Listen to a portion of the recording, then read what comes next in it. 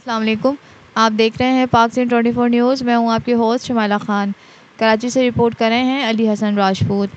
Malir city में मदई नसीम की बैटरी की दुकान पर पाँच डाकुओं की लूटमार की कोशिश। दो मोटरसाइकिलों पर पाँच डाकू लूटमार के लिए आए थे। दो मुसलम मुलजमान दुकान के अंदर और तीन बाहर मौजूद रहे। दुकानदार नसीम की फायरिंग से एक डाकू हलाक, चार साथी फरार। हलाक मुलिम की लाश अस्पताल मुंतकिल कर दी गई है। एस एस पी मलिर का कहना है कि कानूनी कार्रवाई जारी है।